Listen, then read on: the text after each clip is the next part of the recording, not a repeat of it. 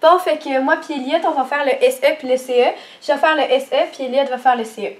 Pour le SE, c'est un pronom personnel généralement placé devant un verbe. Euh, le SE se trouve toujours devant, euh, toujours entre le sujet et le verbe. On peut le remplacer par me, te, nous et vous. Il se cache euh, tout le temps. Il nous cache tout le temps. Elle se fait voler, elle me fait voler.